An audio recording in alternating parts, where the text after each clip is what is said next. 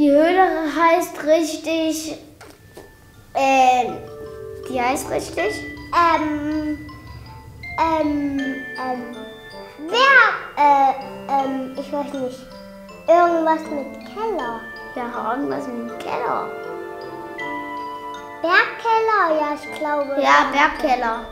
Wir sind durch einen langen Gang gegangen. Ja, der war ganz groß. Stimmt sicher? Ja, riesen, riesengroß. Ja, und da haben die so, so alles von früher gefunden.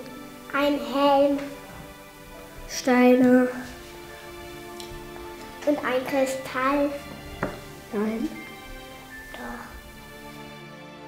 Ein See wird dann immer tiefer und tiefer und tiefer und, das, und der ist dann schon in der Mitte so tief, dass zwölf Kinder, nee, wie viel waren's? Zehn. Zehn Kinder übereinander gestapelt da reinpassen. Aber, aber ein Gummiboot haben wir gesehen. Ein Gummibuch. Äh, Boot. Hm. Und nicht ein Buch. Am Anfang war es ein bisschen klein, also es war so Richard. Hm. Und dann war das immer größer. Bis hinter den Rücken. Bis hinter den Rücken. So groß. Dann haben wir noch gesehen, dass so, also, so, so, so, das ist so ein Fahrzeug, so ein Hänger. Und, und dann sollten wir an die Steine anfassen und die waren richtig kalt.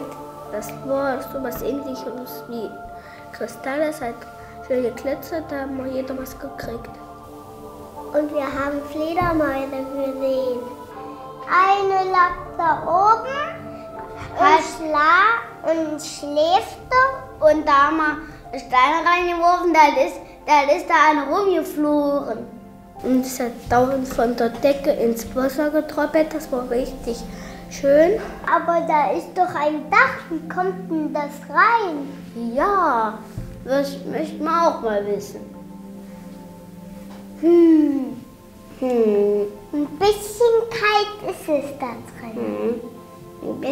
kalt. Ich würde alleine reingehen, Ja, ich, ich, ich würde auch alleine reingehen. ganz alleine. Ja, ich, ich, ich würde auch ganz alleine reingehen. Aber ein bisschen Angst habe ich da drin schon.